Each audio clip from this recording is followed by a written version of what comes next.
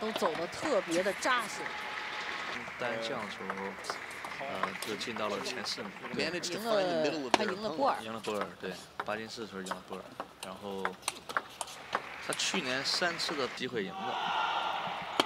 但是那次世界杯确实印象太深刻了。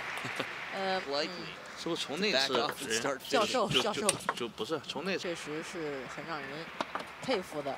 对。但是将来我觉得他的潜力无限，应该说。对。因为。的 这样一种判断啊，就是说很棒啊，出神入化在场上。那个焦尼斯呢？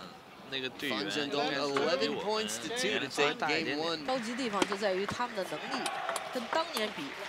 以前是板板有啊，对，原来是抽上，这个势头就在这里。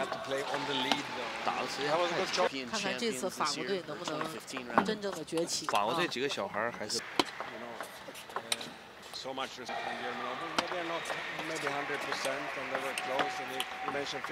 为这个时候嘛，他就靠最后那一点点突破，对吧？一个问题的这个关键。呃，也是一个这个分水岭吧，我想。这个确实是能够。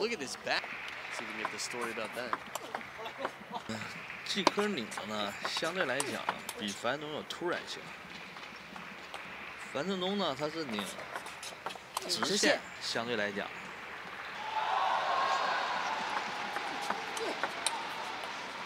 常年的一种习惯。对。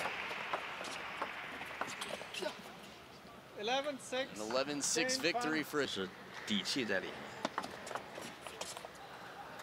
高也是极具这个队伍。Pace and so on. So. Well, the question is, how long can he hold Fan Zhendong back?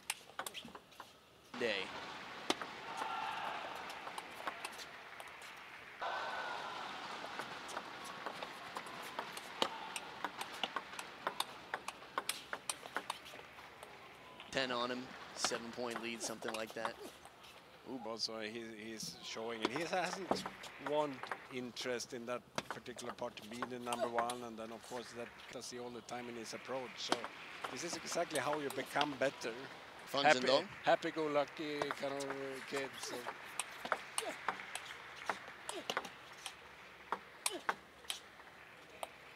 The fishing shot goes long. It's 11-6. Fan Zhendong not dropping a game.